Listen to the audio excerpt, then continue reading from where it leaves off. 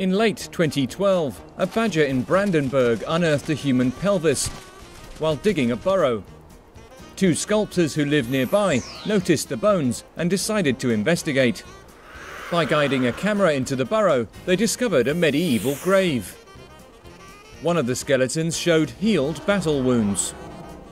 It belonged to a warrior who survived sword and spear wounds, living to be 40 years old.